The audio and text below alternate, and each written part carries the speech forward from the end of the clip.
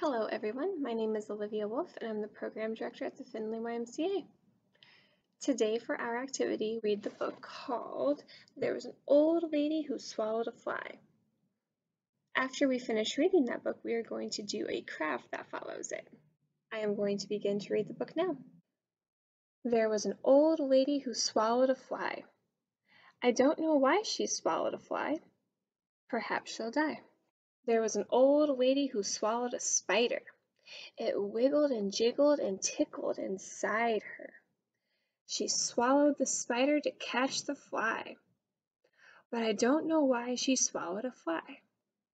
Perhaps she'll die. There was an old lady who swallowed a bird. How absurd to swallow a bird! She swallowed the bird to catch the spider that wiggled and jiggled and tickled inside her. She swallowed the spider to catch the fly, but I don't know why she swallowed a fly. Perhaps she'll die. There was an old lady who swallowed a cat. Imagine that! She swallowed a cat. She swallowed the cat to catch the bird. She swallowed the bird to catch the spider that wiggled and jiggled and tickled inside her. She swallowed the spider to catch the fly. I don't know why she swallowed a fly. Perhaps she'll die. There was an old lady who swallowed a dog. What a hog to swallow a dog! She swallowed the dog to catch the cat. She swallowed the cat to catch the bird. She swallowed the bird to catch the spider that wiggled and jiggled and tickled inside her. She swallowed the spider to catch the fly but I don't know why she swallowed a fly. Perhaps she'll die. There was an old lady who swallowed a goat. Just opened her throat and swallowed a goat. She swallowed the goat to catch the dog. She swallowed the dog to catch the cat. She swallowed the cat to catch the bird. She swallowed the bird to catch the spider that wiggled and jiggled and tickled inside her. She swallowed the spider to catch the fly but I don't know why she swallowed a fly. Perhaps she'll die. There was an old lady who swallowed a cow. I don't know how she swallowed a cow.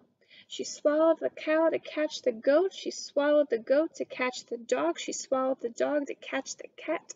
She swallowed the cat to catch the bird. She swallowed the bird to catch the spider that wiggled and jiggled and tickled inside her. She swallowed the spider to catch the fly. But I don't know why she swallowed a fly. Perhaps she'll die. There was an old lady who swallowed a horse, so they had to operate, of course. She's much better now, I'm glad to say. She'll only eat fruit veggies today. Can you spot all the animals?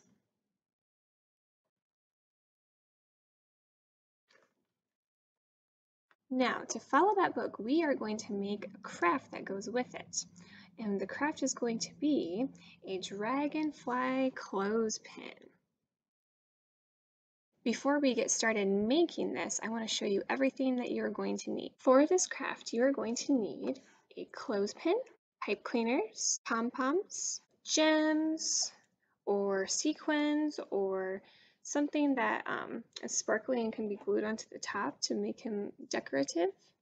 You can use super glue, um, tacky glue, or if you also have a hot glue gun, just make sure if you're using a hot glue gun to have a parent with you. And then also some googly eyes if you have them. So to make our dragonfly clothespin, the first thing I am going to do is I'm going to need to glue on my pom-pom, and that makes his head. And then you can also follow going down the clothespin like this, and glue on the gems or whatever you are using at home to make it decorative on the top there. Just make sure to leave a little bit of space for when you glue on his wings. So I'm first taking my glue and putting one little dot of glue up at the top. And I'm putting on my pom-pom.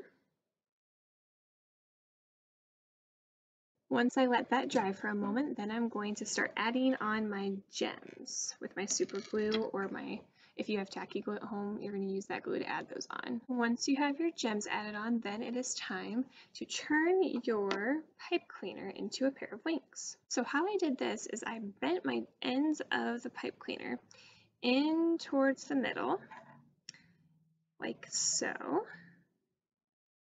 And then I make a little X with their ends like this, and I fold them into each other. So that it looks like that. And then I push them down towards the middle. Then I take the ends of the pipe cleaner and fold them into that end. And then your wings are ready. Now, I left a little bit of space right here on my clothespin, so I'm going to add a little bit of glue there. And then I'm taking my wings and setting those right on top and holding them in place for about 30 seconds to a minute, gently blowing some air on there just so that they can dry and they'll stay put. Depending on what kind of glue you're using, you might need a little bit more or less time for it to dry. Once your wings are all dry, then the last step will be that you are going to add on your googly eyes. So I am going to do that now by putting two dots of glue right on the top of my pom-pom. Then I'll add in my eyes right here. Once you have your googly eyes all on there and they're dried, then your clothespin dragonfly is ready. Now our dragonfly clothespin is all done and we can test it out. Thank you so much for watching and stay tuned to our Facebook page for more videos.